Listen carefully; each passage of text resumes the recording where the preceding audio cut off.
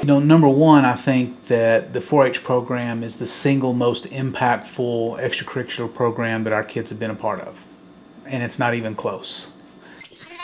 Well, we have four children, so we are constantly doing something with four kids. So we've been heavily involved in 4-H for probably about 17 years, and uh, it's been a great blessing for our family. We help out with the Ballinger and Runnels County 4-H clubs. The, the, the exciting thing about 4-H is that it is very deep in terms of the things that you can do. So we have done everything from foods and nutrition to uh, clothing and textile stuff. We've done uh, some STEM, uh, robotics, uh, you know, uh, and then of course our livestock project. The single overriding factor is character development. Uh, in terms of what they've learned, you know, we talk about, you know, a lot of these skills, whether it's, you know, livestock judging or the skillathon or foods and nutrition, but really um, they learn how to be a better person. They learn how to work with people uh, in group a group setting.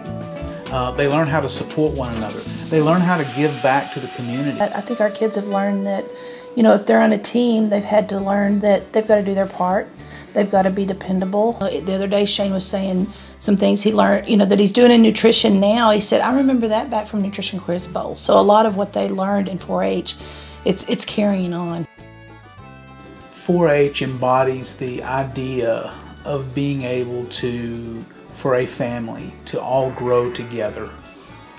From the children's aspect, being able to give them life skills, being able to give them a sense of belonging, a sense of citizenship, uh, a sense of, of helping your fellow man.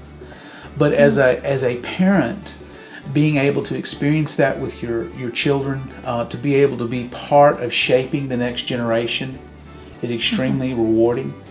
And then being able to do that in the context of a team environment with other adult leaders, with other children, with your county agents, um, is, is a very, very unique and, and edifying culture to be in uh, for everybody involved.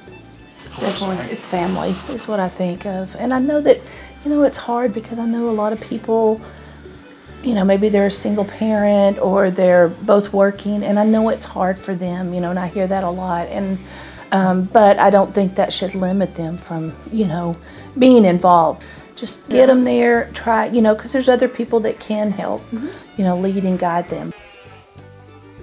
You know, if there's a prospective parent out there that wants to get involved uh, and start, uh, you know, getting their kids some experience in 4-H, I would just just say, do it with them. Just do it with them.